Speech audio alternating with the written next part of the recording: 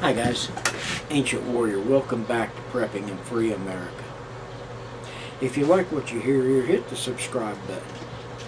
And if you want to be the first kid on your block to know what craziness I'm talking about next, hit the bell icon with all. And folks, please, please, I don't know if I'm hitting the mark because very few of my videos get comments. So I need to know what you're thinking. You'll also, you know, ask, ask Laura Serendipity. Uh, she gave me an idea for videos, and we're going to go back to them next week. Uh, but this week, there's some stuff that had to be dealt with. Alright, with that being said, Russia, Russia, Russia, Russia. It's all over the news. The hackers are in Russia. Which I personally will look at you and say, oh, I don't think the Russians are any more, the Russian government maybe, but the Russian people, they're no different than we are. The reason I know this is there's three channels I pay attention to. And I'm not going to give them to you as my my favorite to least favorite because that wouldn't be fair. But we're going to give them to you in order. Letters to King Constantine. Uh,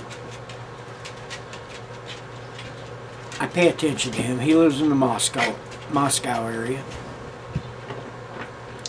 and. Uh, he seems like a decent old boy. He's lived here in the U.S. He knows a lot about us.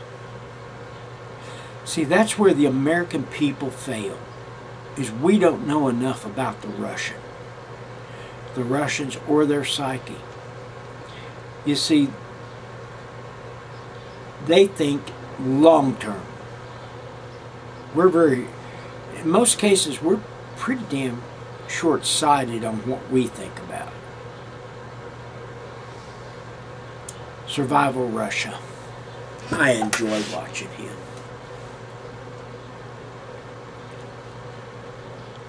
He does things that I actually think you need to be aware of how to do. And Survival Russia is is a highly intelligent man. You can tell this.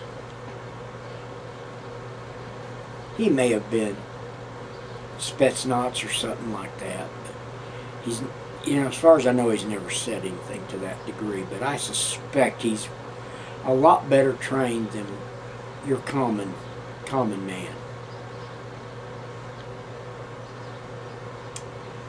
Then, uh, Life in the Wild. I just found this guy the other day. And he was building a underground cabin. I loved it. I loved it. Because I think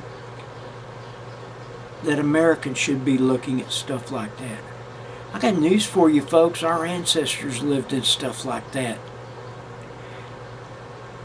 you know, and I may one day take a trip down here to Palo Duro Canyon when it's cooler and show you pictures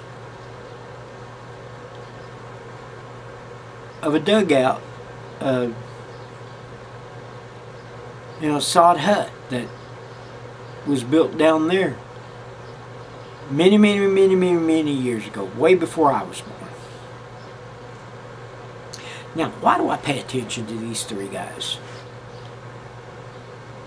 Well, number one, I pay attention to them because they're like me. They're all younger, but they're like me. If YouTube would have been around when I was in my 20s, 30s, I'd been on YouTube. I'd have been producing.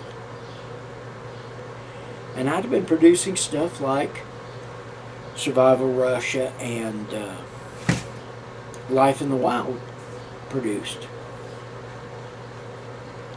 In my 40s, I would have been producing stuff like uh, Letters to King that Constantine does.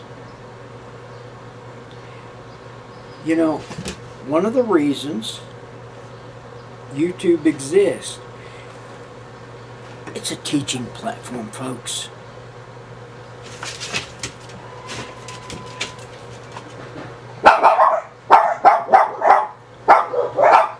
The dogs just saw the cat. So we're going to have fun. Uh, but it's a teaching platform, folks. And with that being said, be willing to learn from other people. You're going to hear me talk about people like Aaron and Claire from Seoul, South Korea. Marion, and I don't know if she's from New Zealand or she's from Australia.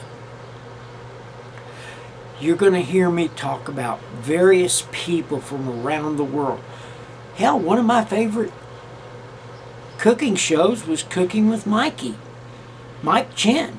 Now I know for a fact he's not living abroad anymore. He's living here in, in the Dallas-Fort Worth area. So, with that being said, remember, if you're prepping, you're a free American.